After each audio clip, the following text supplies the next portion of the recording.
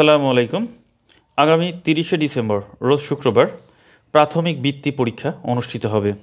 তো যারা বৃত্তি পরীক্ষায় অংশগ্রহণ করবে, সেই সকল শিক্ষার্থীদের উদ্দেশ্যে আমি বিশেষ করে সাজেশনমূলক কিছু কথা বলব। তো এক্ষেত্রে প্রথমেই বলে নেই যে ইংরেজি প্রশ্নের ধরন কেমন হবে। আবার এক্ষেত্রে অনেকেই বলেছেন যে ইংরেজি প্রশ্নে কি আসলে ব্যাকরণের অংশ বা গ্রামারের অংশ থেকে কোনো কোশ্চেন থাকবে কি না তো আমি যদি এই ইংরেজি প্রশ্নের সাজেশনমূলক যে ব্যাপারগুলো আছে বা কিন কোন ধরনের প্রশ্ন হতে পারে ইংরেজি যে পঁচিশ মার্কস থাকবে, সেই পঁচিশ মার্কসের প্রশ্নগুলো কী কী ধরনের প্রশ্ন আসবে সে বিষয়গুলো আমি একটু যদি বলি।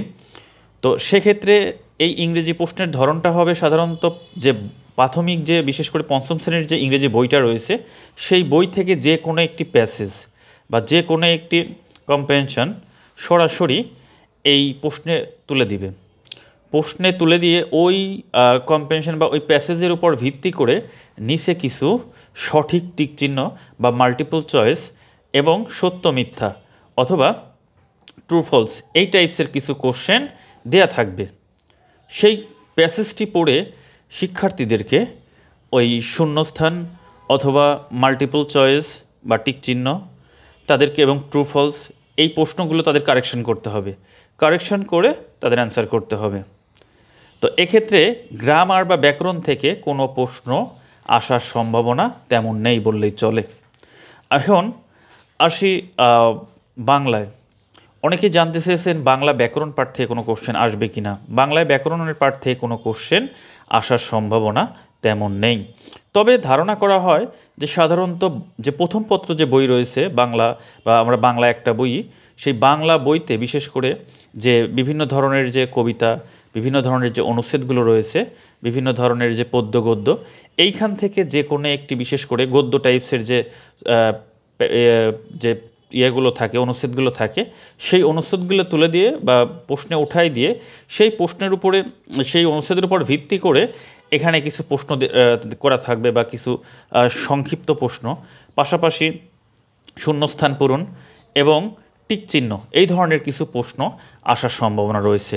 তো আপনারা আপনারা যেহেতু জানেন যে এখানে কিন্তু পঁচিশ মার্কসের মধ্যে, প্রতিটা সাবজেক্টেরই পঁচিশ মার্কসের মধ্যে লিখিত কিন্তু থাকবে দশ এবং পনেরো থাকবে হচ্ছে মাল্টিপল চয়েস বা সঠিক উত্তর বা টিক চিহ্ন।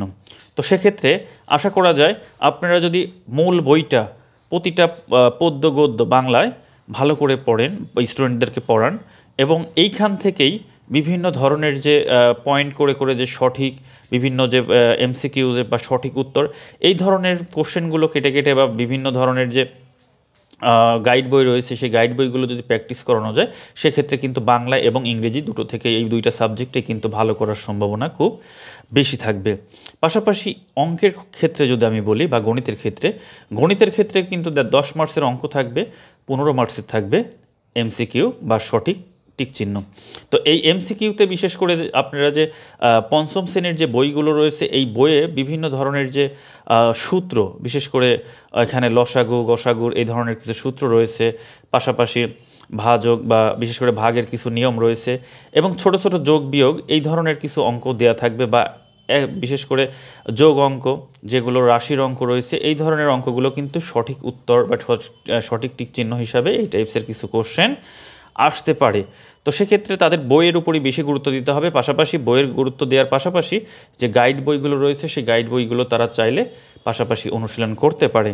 বিজ্ঞানের ক্ষেত্রেও কিন্তু দেখা যাচ্ছে যে যে বোর্ড বই রয়েছে, সেই বোর্ড বইয়ের বিভিন্ন ধরনের যে প্যারাগ্রাফ বা বিভিন্ন ধরনের বিষয়, যে গল্পগুলো রয়েছে, এই গল্পগুলো ভালো করে পড়বে। গল্পগুলো থেকে সাধারণত এমসিকিউ কোশ্চেনগুলো বা বিশেষ করে সঠিক উত্তিক চিহ্ন, এই ধরনের প্রশ্নগুলো আসবে এবং ওই সকল গল্প থেকেই কিন্তু তাদের বা বিভিন্ন ধরনের যে অনুচ্ছেদ রয়েছে, সেই অনুচ্ছেদ থেকেই কিন্তু তাদের সংক্ষিপ্ত ধরনের যে কোশ্চেনগুলো, এক মার্চের, দুই মার্চের বা তিন মার্চের, এই ধরনের কিছু কোশ্চেন তাদের কিন্তু লিখিত হিসাবে দশ মার্চের কোশ্চেন একটা সেট করে তারা হয়তো পাবে।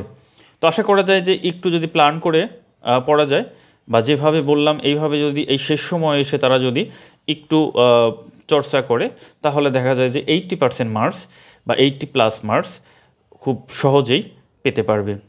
তো আশা করি আজকের যে সাজেশনমূলক যে সংক্ষেপে যে সাজেশনমূলক যে আলোচনাটি করলাম, সেটি হয়তো প্রিয় শিক্ষার্থীদের জন্য যথেষ্ট সহায়ক হবে। তো সবাই ভালো থাকবেন। আল্লাহ হাফেজ।